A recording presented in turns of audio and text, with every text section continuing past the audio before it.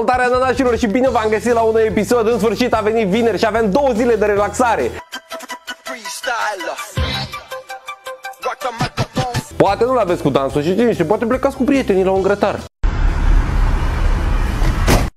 pentru noi bărbații este mai simplu, ne spălăm pe ochi, pe dinți dacă avem chef, ne luăm chiloții aia rupți în cur și cu urme de Nutella și plecăm. În general, dacă un astfel de bărbat are o mașină scumpă, unele femei trec cu vederea. Dar astea sunt cazuri excepționale. Pe de altă parte, femeile sunt mult mai ordonate decât noi și acordă o atenție mult mai mare igienei corporale. E, și de fiecare dată când prind ocazia, se își reîmprospătează gogoșica. Și dacă tot am adus în discuție femeile,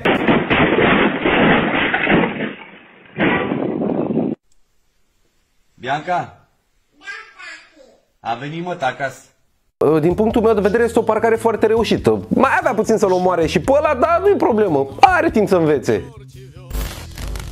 Am o întrebare foarte importantă pentru femei. Da, mă, și femeile urmăresc cu minut de râs. Cum vă place? Să fiți epilate sau ne...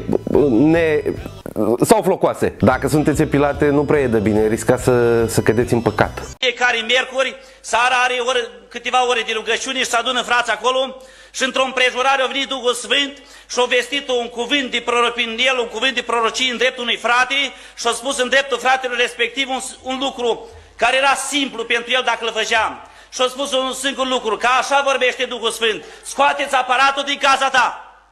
Scoateți aparatul din casa ta, că dacă nu scoți aparatul din casa ta, îți vei pierde în scurtă vreme soția.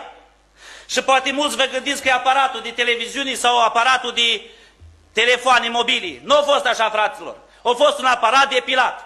Nevasta lui a băgat în casă un aparat de epilat, a început să se epileze și Duhul Sfânt a vestit că știa ce se va întâmpla și a vestit Duhul Sfânt și nu a ascultat omul de Duhul Sfânt. Și în doi ani de zile a intrat un duc de curvii, a început fusta să fie mai scurtă, a început să-și pune tocuri nevasta lui în picioare, a început să-și iei zorzoane pe dânsa și fratele nostru a pierdut nevasta. Parcă și văd începând de mâine. Hashtag floși cât casa. Nu vă mint, când am auzit scoateți aparatul din casă, mă gândeam la ăsta.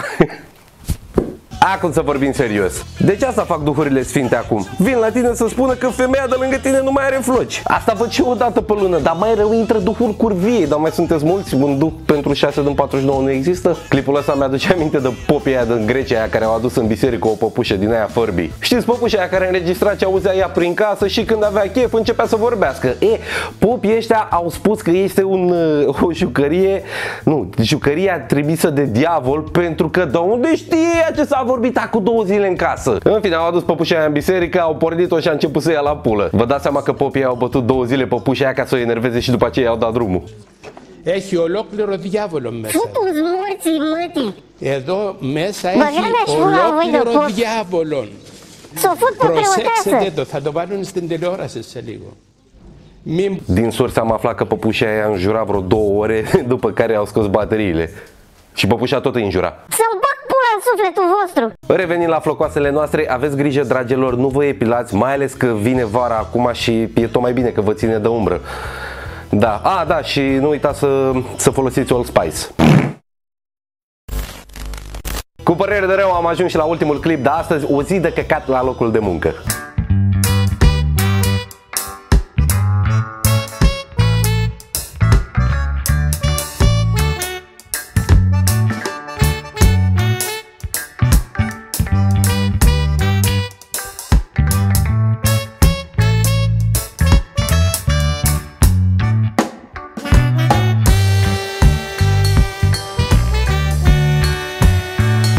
Nici o șoacă nu s-a prinde așa repede, parcă îl și văd pe mecanic când sună clientul. Gata, v-am înlocuit toba. Vestea bună este că nu mai scapă gaze pe nicăieri, iar vestea proastă e că mm, mașina s-a dus pe pulă. Parcă mă văd pe mine în clipul ăsta când lucrez la mașină și și nu știu pe unde am pus piulița aia.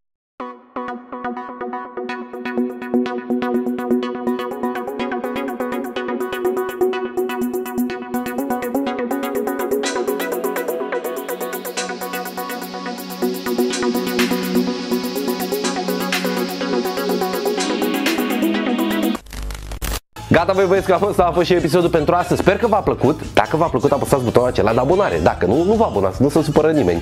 Vă doresc un weekend minunat, să fiți sănătoși, să fiți frumos, să aveți parte de tot ce vă doriți voi. Și până data viitoare, să auzim de bine.